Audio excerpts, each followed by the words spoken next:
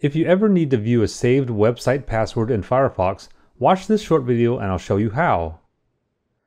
With the browser open, click on the hamburger menu at the top right of the screen. Then click on Passwords. On the next page, you'll see a list of all the websites with stored passwords on this computer. If I want to see, for example, the information for B&H Photo, I'll simply click on it. Here, the username is automatically displayed, and if I want to see the password, I can click on the eyeball icon. The copy button will copy the password to the clipboard so I can paste it somewhere else.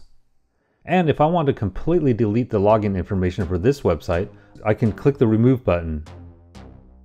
If this video was helpful, please give me a thumbs up and hit the subscribe button to stay up to date on all my weekly videos.